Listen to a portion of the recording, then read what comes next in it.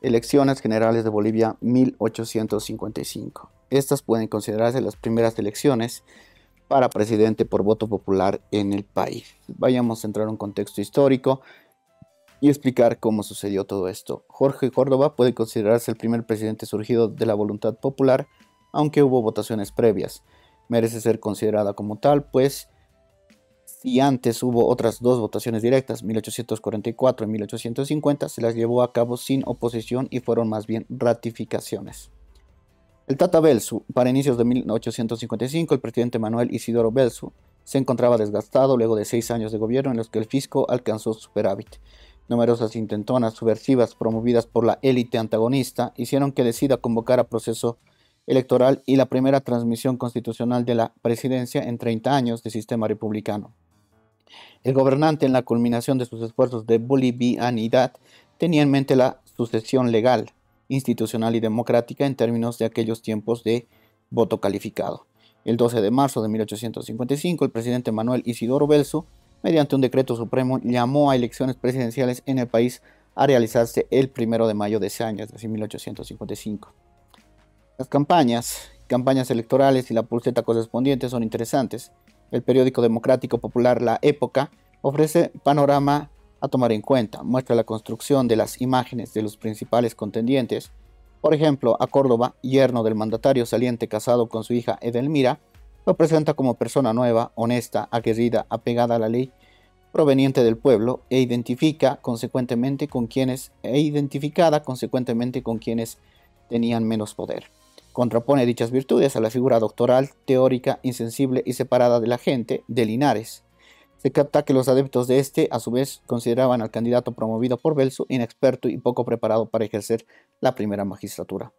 Confiaban en la trayectoria y prestigio de quien los representaba. Al acercarse las elecciones, la intensidad de los debates fue subiendo, pero hay que remarcar que hubo alto grado de respeto y legalidad en dicha época electoral. Ganar votos. Hábilmente se debe reconocer, la campaña de Córdoba también estuvo dirigida a ganar confianza y votos entre sus opositores, a la vez que recibía constantes manifestaciones de apoyo popular rural y urbano. Mensajes claros fueron emitidos en sentido de acuerdos, conciliación, defensa de las libertades y políticas que favorecieran la producción boliviana y consiguientemente a propietarios y comerciantes. En ellos se marcaba alguna diferencia respecto a Belsu, además que llegando a la presidencia fue cumplido en gran medida. El día del voto, la votación popular, según el historiador José Agustín Morales, se verificó el primero de mayo. Inscribieron candidaturas Córdoba, Linares, Andrés de Santa Cruz y Calafmana y Tomás Frías, Gregorio Pérez, Celedonio Ávila y Calixto Ascarrons. Más allá de que dos candidatos no pudieran volver a territorio boliviano, se conoce que el sufragio se efectuó sin presiones ni violencias. Linares y Santa Cruz y Calavmana fueron los ciudadanos que participaron estando exiliados. La larga espera dadas las distancias y sobre todo lo difícil que resultaba recoger los votos de los cantones provinciales y centralizarlos, se esperó los resultados durante tres meses, en los cuales siguió el duelo entre el general Córdoba y el doctor Linares. De tal manera, el 6 de agosto fue instalado el Congreso Nacional de Sucre, presidido por el cruceño Manuel María Aguirre. Los resultados, estos son los resultados de la elección. El día 11 terminó el escrutinio de, alrededor de 15.000 votos. Considerando el censo de 1846, participó un 1.09% del total de la población. Cabe señalar las candidaturas más votadas fueron las que incluye se incluye a Constitución. Ojo, esto es una... Mm, o sea, estos datos no, no se he podido encontrar eh, fidedignos, ¿no? Es decir, eh, no he podido encontrar estos datos que, digan desde el ente electoral que son los reales, que son los verídicos. Solo les puedo decir que estos datos eh, yo los he procesado, los he encontrado en este link que aquí lo dejan de las revistas revistasbolivianas.ciencia.bo Ahí, ahí está el link donde he encontrado esta información y con esos datos he procesado esta gráfica, ¿no? Obviamente que pudieron haber habido más, aquí dicen 15.000 votos, es decir, solo yo he sumado 14.412, ¿no? Pero bueno, más o menos fue este el resultado. Repito nuevamente, no he encontrado datos fidedignos, he encontrado sí el dato de la Wikipedia que varía de estos, pero son parecidos.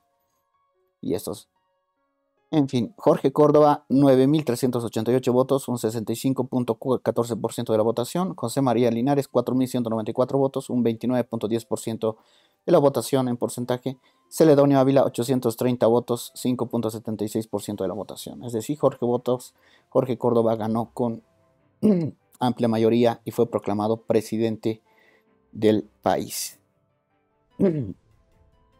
Y bueno, Jorge Córdoba es este señor que lo muestro ahí, por eso la fotito al inicio de la portada de esta presentación.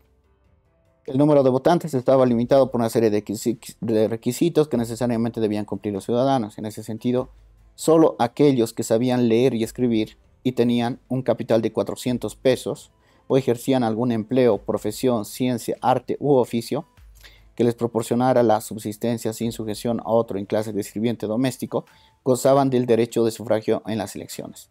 En las elecciones eh, de 1855 ah, sufragaron solamente 14.414 individuos. Aquí dice, ¿no? Es este dato, faltarían dos, y aquí dice 15.000. Son dos fuentes distintas, esta la he encontrado en otro lado. Pero bueno, las elecciones fueron relativamente correctas, absolutamente perfectas, no las ha habido en Bolivia. Por ellas se comprobó que Linares no contaba con la mayoría de la nación. Los partidarios de Linares triunfaron en las capitales de Sucre y La Paz y en algunas provincias. En Potosí, su ciudad, natal, perdió la elección. Las cifras anotadas ponen de manifiesto que los fraudes electorales fueron insignificantes, a no ser que se suponga que el partido belcista no contaba con ese escaso número de electores, lo cual estaría desmentido por la realidad de los hechos. Los partidarios más obcecados de Linares confirmaron que no hubo coacción oficial y esto basta para abonar la conducta de los que presidieron aquellas elecciones.